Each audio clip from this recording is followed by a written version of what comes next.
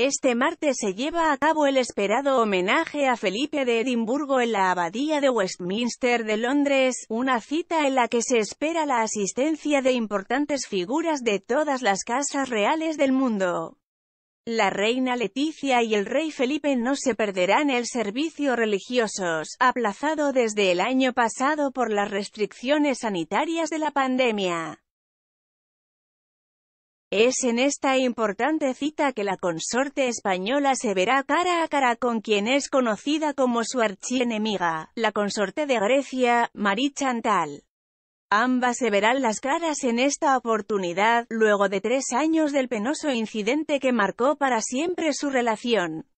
La tensión entre la reina Leticia y Marie Chantal tiene sus orígenes en abril de 2018 tras la misa de Pascua en Mallorca.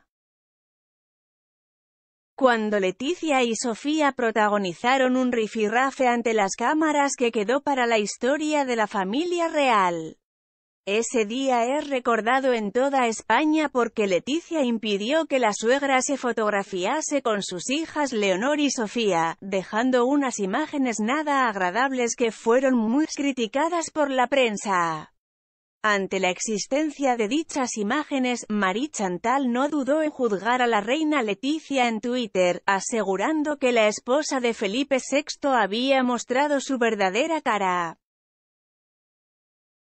Una afirmación que puso a Leticia aún más en el centro de las críticas y que no le agradecería para nada a su par de Grecia.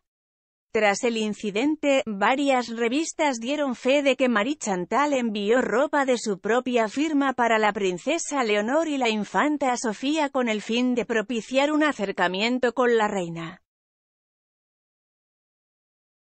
Sin embargo, Leticia no solo nunca le puso estos conjuntos a sus hijas en público, sino que tampoco agradeció el detalle.